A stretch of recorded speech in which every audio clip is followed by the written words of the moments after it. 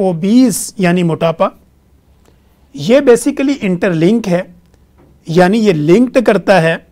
आपकी शुगर को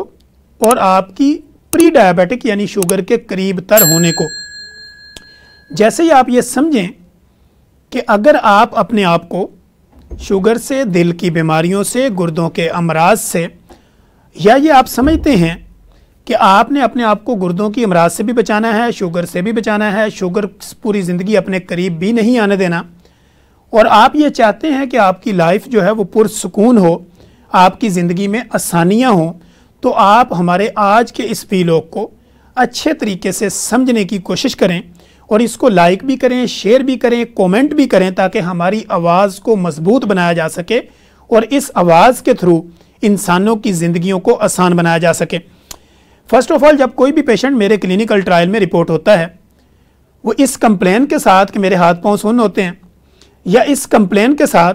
कि मेरी बॉडी में तनाव है, या मेरी बॉडी के अंदर खिंचाव है, या मेरे हाथ पाँव में जलन है, या मेरे हाथ पाँव सुन होते हैं, या मेरी बॉडी कमज़ोरी का शिकार है, या मेरा काम करने को दिल नहीं चाहता, या मेरी बॉडी का साइज़ बढ़ता चला जा रहा है, या मेरा वेट बढ़ रहा है, या मेरा वेट तेज़ी से कम हो रहा है इन कंप्लेन के साथ जब पेशेंट मेरे क्लिनिकल ट्रायल में रिपोर्ट होता है तो first of all being a clinician being a practitioner हम उसका ब्लड ग्लूकोज लेवल देखते हैं। ब्लड ग्लूकोज लेवल देखने के साथ हम उसका ब्लड प्रेशर भी मॉनिटर करते हैं और इसके साथ हम उसके वाइटल साइन भी लेते हैं, जिसमें हम उसकी बॉडी में ऑक्सीजन का लेवल भी देखते हैं। फिर इसके साथ हम उसका टेम्परेचर भी देखते हैं। फिर उसकी पल्स की मेज़रमेंट भी करते हैं। तो ये वो फ़र्स्ट ट्रीटमेंट होता है जब पेशेंट हमारे क्लिनिकल ट्रायल में रिपोर्ट होता है। अब इसके बाद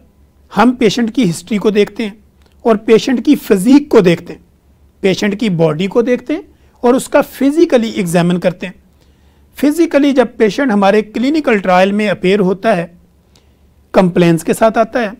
हम पेशेंट को देखते हैं, उसको डायग्नोज करते हैं, उसकी तशखीस करते हैं फिर साथ में पेशेंट को एवेलुएट करते हैं और अपनी ऑब्जर्वेशन जो है, उसके ऊपर प्रॉपरली पेशेंट को एग्जामिन करते हैं और एग्जामिन करने के बाद फिर हम देखते हैं कि इस पेशेंट का लाइफस्टाइल क्या है।